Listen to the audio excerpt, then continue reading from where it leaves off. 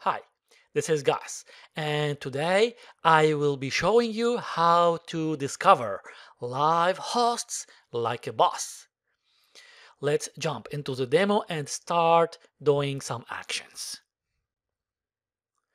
Our target victim machine is a Windows box, and its IP address is 10.0.20.103. Just remember that it ends with 103. Then you will know that this is our target host. Now on this machine, I blocked all the ICMP packets coming into the box using the file and printer sharing rules. And if you look at the left side, I selected the inbound rules to get the job done. Let's jump into the Kali box and check how we can identify this live host. First of all, I will ping the destination Windows box and I'm using the C option to count three times before it stops.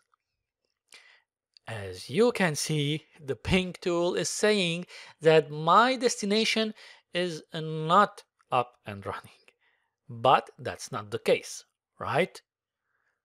Let's try to take advantage of the ARP table and scan the Windows host using the ARP scan tool.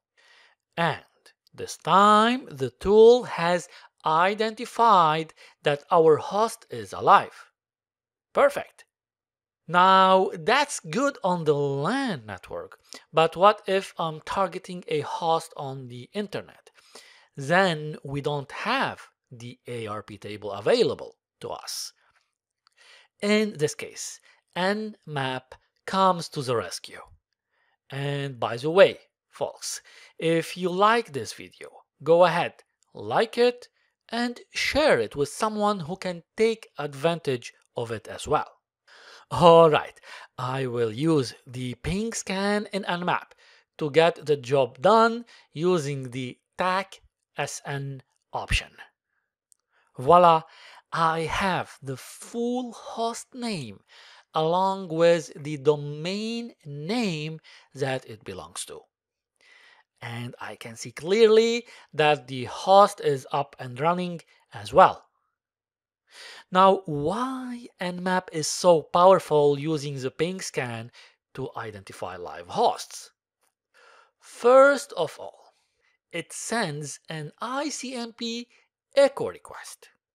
Second, it sends an ICMP time stamp request. After that, it will send a TCP ACK on port 80 and that's very effective for live internet hosts. Along with TCP SYN packet on port 443 for HTTPS. I'm assuming that you're running a root user while executing Nmap in order to take advantage of all these features. Finally, Nmap will send an ARP request, which is very powerful on the LAN network. That's it, folks.